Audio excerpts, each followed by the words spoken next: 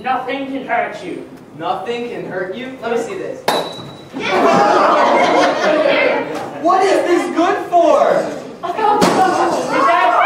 Yes, very much so. It's because you didn't have the powder. Give me the... Isn't magic cheating? Oh, well, I suppose not. After all, I've never actually used it myself. It may not do a thing.